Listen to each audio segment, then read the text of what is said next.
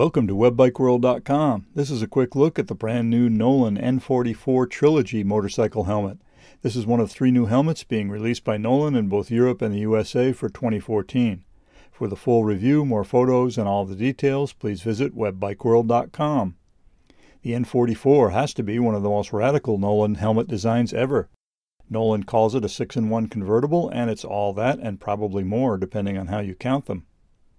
It converts from this full face design with its huge face shield to a motocross type with the peak in place to an open face helmet with or without the peak or chin bar. Our feeling is that the N44 will be used mostly with its absolutely huge face shield in place, and this is also one of the best features and will probably be the biggest selling point of this helmet because the visibility it provides is unlimited, and that's a real safety factor for motorcyclists. As you can see, the face shield runs all the way down to the bottom of the chin bar. The large chin vent is built into the face shield and it moves air over the removable chin bar for ventilation. The face shield even has a couple of incremental positions for defogging.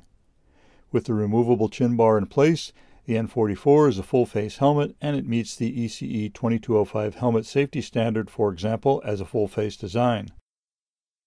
An internal sun visor is included. It rotates down with a slider on the left side and it has a quick release button in front to move it back out of the way. The N44 has one of the easiest to use and smoothest face shield removal systems we've tried. Move the lever up and the face shield or peak can be easily removed or replaced.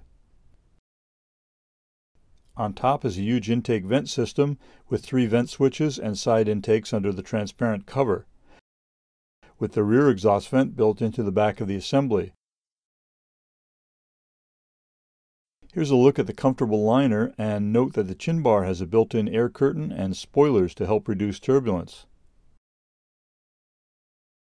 Let's take a look at some of the conversion possibilities for the N44. The face shield is easily removable, then the peak snaps right in and can be used with or without the chin bar. The chin bar removes by holding two spring-loaded buttons on top. The chin bar is a heavy-duty piece made from Lexan, and when it's inserted, the helmet is a full-face design. The internal sun visor can also be used in any of the various helmet configurations.